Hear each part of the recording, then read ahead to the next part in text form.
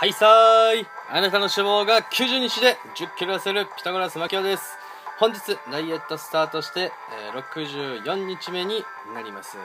ダイエットとは情熱であるうーんうーんうんふわほイエス今日もですねトランポリンジャンプを20分間しまして、えー、心身ともに頑丈健康であります。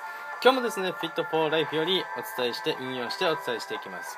今日は消化に要するエネルギーは水泳以上の重労働と心得よの巻ですね。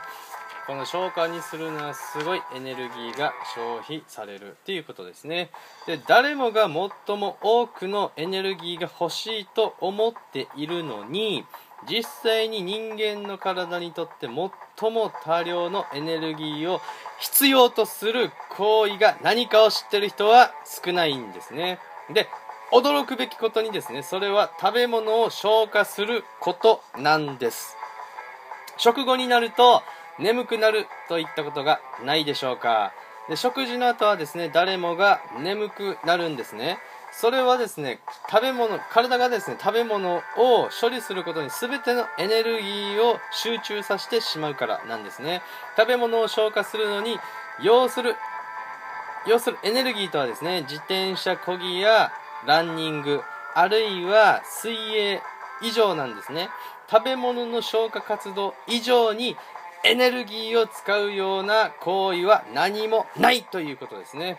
でエネルギーは体の重要なですね解毒有害な老廃物の排泄ですね。つまりデトックスを行う上で非常に重要でありそのエネルギーによって体から有害な老廃物をですね規則正しく排泄することができれば私たちは規則正しく体重を減らすことになり減った体重も元に戻ることはありません。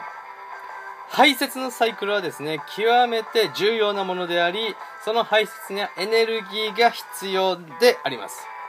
私たちは体はですね私たちの協力がないと有害な老廃物を排泄することができない。私たちが体のためにしなければならないことは体が使えるエネルギーをいつもきちんと与えてやることですね。でこれが健康でスリムな体になるための解決策であります。いかがでしたか？あなたも。できるところからやってみた。らいかがでしょうか？続きはまた明日。チャウチャオ。